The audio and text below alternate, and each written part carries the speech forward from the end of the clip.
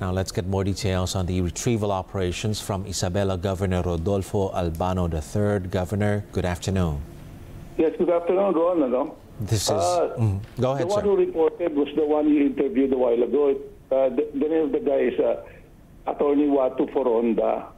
Yes, sir. He's the head of the PD, uh, uh, Provincial Disaster uh, Rescue Management Team. Mm-hmm. So uh, the report to me was when I was in uh, Cauayan a while ago, uh, around 11.30 this morning, a group composed of uh, uh, the M- MDRRMO of Makunakon town in Isabela uh, spotted the plane in uh, uh, the Cessna 206 on the mountain slopes of Barangay Dita Room in Dibilacan, uh, the, the next town uh, beside uh, Makunakon. Ano. Uh, there were no survivors and the plane was uh, wrecked. wrecked.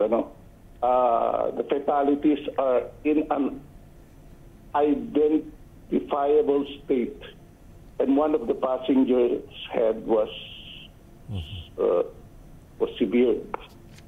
And uh, I think it will be brought to Divilacan.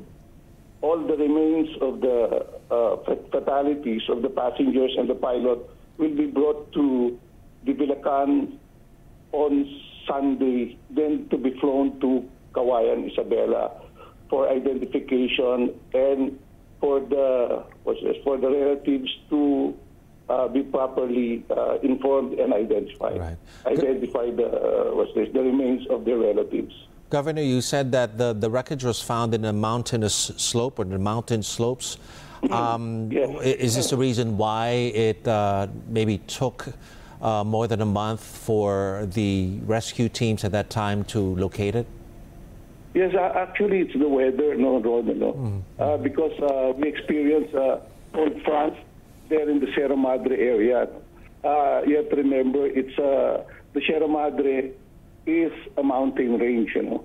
So there's there are lots of uh, uh, mountain mountains there in in that range, and uh, it's like uh, it's like in the Amazon, diba? Parang it's a rainforest. Eh? So the clouds are always on top and uh, yeah, on top of the mountains. So it's, it was very hard for us to detect the plane, even if you, uh, if, even if there were planes hovering around or helicopters hovering around there, they couldn't penetrate the Uh, the clouds, and it was so difficult for them to enter those mountain ranges. And, and And it was so dangerous also for mm-hmm. them to fly eh, inside those mountain ranges. And from that description, Governor, we, we could assume that it's it, it may be uh, a bit difficult as well to retrieve the remains of the, the pilot and the passengers of the plane. It's not an area where uh, a a chopper could just fly by and drop off retrieval uh, re- Yeah. retrieval teams just to, to get the bodies, right? Yeah, that's right, Ron. Ano? It's not like in uh, in uh, when they retrieve the Cessna in Mayon, Mayon. Ano? That's just one one mountain. You're talking of uh, what's this?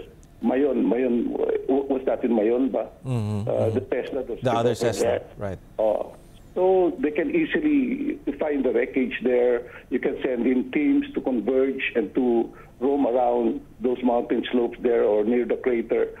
But here in uh, Isabela, you have to understand there, there are no more, uh, what's this, there's, there's no more logging, there are no more logging concessions and also, uh, what's this, the, the forest is so dense and uh, you have uh, parang uh, what you call this in, in the Amazons. You have a rainforest there wherein the clouds would stick, would stick and uh, wouldn't move on top of the mountains.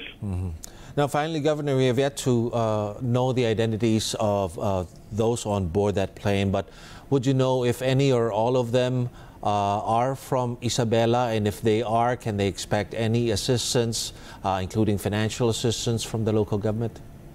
Yes, of course, uh, Ron, ano, uh, we'll provide all the necessary assistance to the relatives, especially the the, the young kids that were what is- that were inside that plane. Ano. It's only, I think, the pilot that uh, is not from Isabela, because all those uh, passengers were going there to attend the funeral of their grandfather.